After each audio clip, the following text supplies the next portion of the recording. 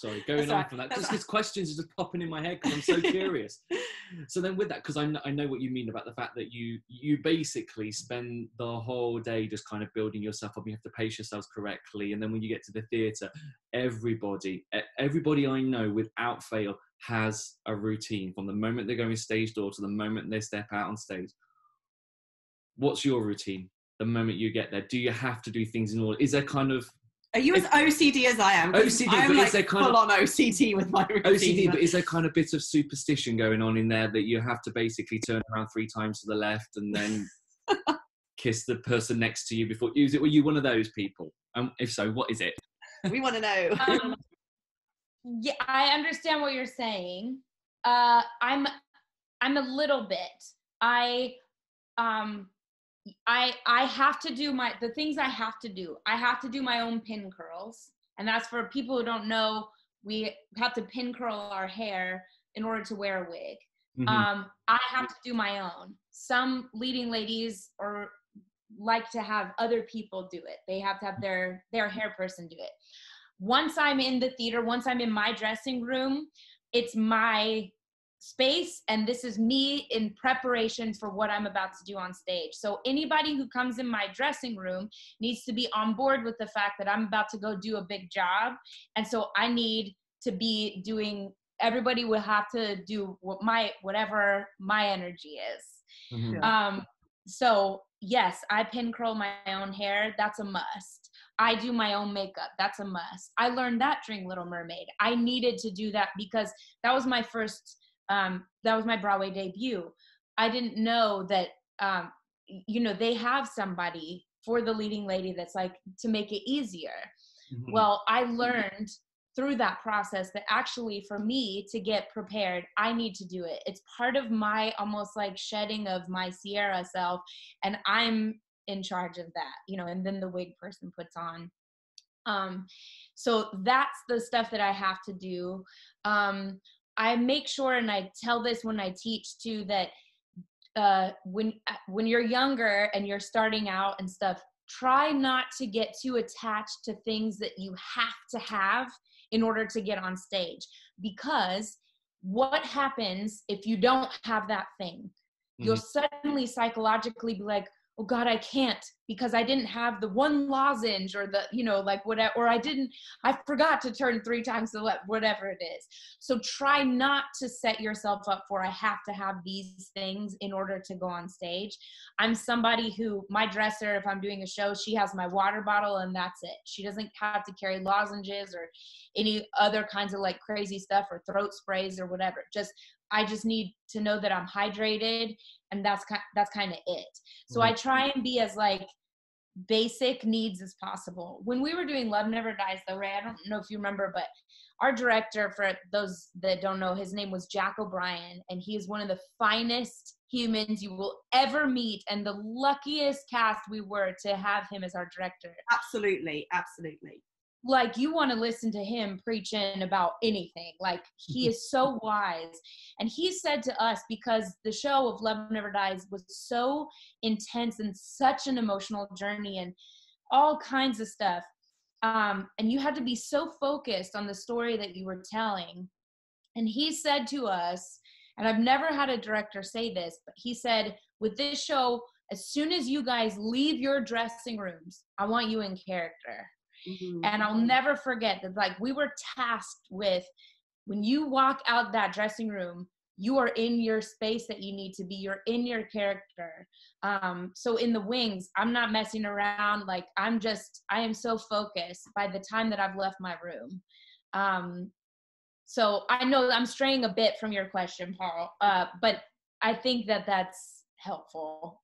Yeah, I mean, you, you, like like you say, from the moment that you leave your dressing room, you are Christine, your Ariel, you, you, you, whoever you are? Did it then take you a while to then, when the curtain comes down, to kind of go back and be Sierra again? Do you have a, like an, an after show ritual as well? Does that make sense? Yeah, that's a good question. Uh, no, I think um, I tend to need to take a moment for myself is maybe my only ritual, but especially with with shows where I've been where the show is very much on my shoulders I'm I'm on, I'm on, and it's like as soon as I come off stage, I just need a second. I don't need people. I don't need the rush of things. I need to. I'm also not somebody, and this is very different than our theater people. I'm not somebody who needs to go out for a drink after a show. Mm-hmm. And a lot of people unwind like that. I literally, with Mermaid, I remember I would get in my car because we have drivers here that you can, that would drive us home. And I would literally just like, you would never think I had just played Ariel. You would just think I have like no personality. I was just like, I would just sit in the silence. I mm-hmm. don't need any more stimulation um, because I've hopefully, if I've done it right, I've just given everything to the stage. Mm-hmm. So yeah. that part too becomes like a lonely life. But it's, yeah, I don't have that thing that is, um, that we have, a, that most performers and artists have that's like night owls and stuff. I don't have that. It's so, it's like weird. yeah, no, it's, I mean, I think it's different for everybody. I think there'll be similarities. Like I found it really interesting what you were saying about your makeup because that's that's the one thing for me that I am super OCD over. Like literally, it's all about my makeup. That I have to do it. Even like I hate it if I'm on doing like a film set thing or whatever. and they want to do it. I'm like, please, I I can do it. Don't do it to me. I hate it when other people do my makeup. I'm so, the same. Yeah, it just feels so weird. So my makeup is like it's my time that is that prep time. So I really completely get you with that one. And I'm also I'm one of those people like Paul will definitely back me up on this. I kind of really struggle to talk, like talk or engage with other people when I'm in the wings because I'm just like I can talk to you just about. we always have we have a, like a little you know don't be rubbish do it well sort of moment together. Yeah. But then there, there'll be people who can kind of chat and have conversations and i just i struggle to do that so yeah. i'm exactly the same i definitely and that partly comes from my tr- training since i was a kid in school and one of the first things they teach you is you don't talk in the wings yeah. mm-hmm. and i think that's that that's getting more lenient now i'm noticing with like like when i was doing like school of rock for example obviously i'm one of the oldest people in the cast all of a sudden and i noticed that a, there's a generational thing um, that's very much like people are much more lenient about that and need to be told to be quiet in the wings and stuff mm. and to me it's like this old school reverence and respect for the theater and I always love being in shows where there's people older than me and that have that I I uh, look up to um, and i take my cue from them too because they are they tend to be like upholding the traditions of the theater mm-hmm. um, and i don't ever want to lose that stuff mm-hmm. um, i guess one like tradition thing too is like to never whistle in the theater i definitely like that's a thing. That. yeah it's you know and it's like yes those are superstition stuff but i won't do it i just and you know people now are like trying to get rid of that and be like oh whatever you know and not care. There was a show that i was involved with and people were like oh whatever. And i have a problem with that. It's like why not just have that reverence you know?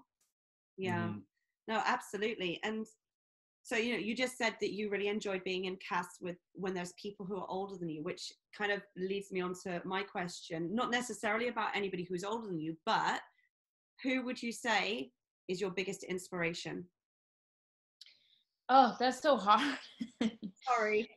um, I mean, I'm sitting. I have Barbra Streisand framed right here. So I, I anybody, about your your thing with Barbra. yeah, anybody who knows me knows that Barbra Streisand is my thing, and I always like these framed records I have, but I tend to take a couple of them off the wall, whatever dressing room I am and in, and then I have her in there she's for sure my biggest inspiration in the theater. Um, I find her work so brave and um, yeah, she's extraordinary. I had a whole during Love Never Dies. I had a framed, giant framed thing in my room of different women um, that I was using to focus myself in on to play Christine in that version. So I would, I'm very visual, so I needed to see that stuff. But honestly, I mean, right now my inspirations are people that aren't even in theater. I'm, I think, and you know, it's like these incredible women it's hard without people going political in their mind when I say this person, but Hillary Clinton for me is a huge inspiration. Not politically, but what she dealt has dealt with and deals with all the time as a woman and as a powerful a woman with something to say um, she really inspires me michelle obama inspires me um, diana nyad the woman who swam from cuba to florida um, by herself. So like that inspires me. Brene Brown, who's like the. Most motivational, amazing. She's a researcher of vulnerability. Um, she inspires me. Um, that's who I really tend to draw from lately. Um, and I find that using things outside of theater it's like oh god this all makes so much sense yeah. and me it really is the bravery it's the bravery of people that aren't um, afraid to step into who they are knowing that you're not going to make everybody like you or happy you know? Mm-hmm. yeah. And that's kind of what we do. It's true. Yeah. you you know that whenever you do a show there's always going to be some people that love the show and some people that don't like the show. When you do a performance some people are going to like your performance some people are not. It's you're totally right. It's like we go into this knowing that what we do is so subjective yes. Yeah we do it anyway. Mm-hmm. yes because there's something with inside of it. I mean we can talk about the climate that we're in right now. Nobody's ever been in this position before where the world is on hold basically. And broadway is shut down. The west end is shut down. School shows are shut down. Every perform you can't perform anywhere unless you're by yourself and i've been teaching a lot online for different companies and stuff that because i don't know how to teach someone how to do voice but i can teach master class or coach and i've been starting my classes by with these people from all over the world and on our zoom screens you know just like little brady bunch things and I start and I say that that there's no place to perform right now. There's no Broadway, there's no West End. But you have all signed up and are here. You are all here because you want to do the work today for some reason. Yeah. And that's just worth noting.